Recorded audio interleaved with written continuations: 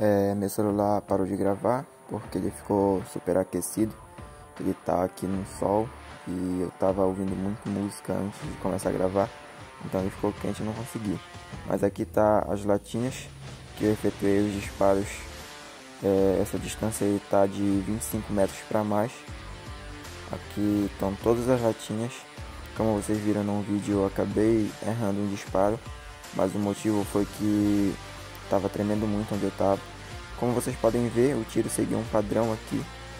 É, a direção deles são todos praticamente no meio da latinha. E no final, aquele que não gravou foi esse tiro aqui, quando a latinha estava deitada. Que eu dei aquele tiro para compensar aquele que eu tinha errado. E acabou pegando aí na latinha. Então valeu, esse foi o vídeo, espero que vocês tenham gostado. Tamo junto.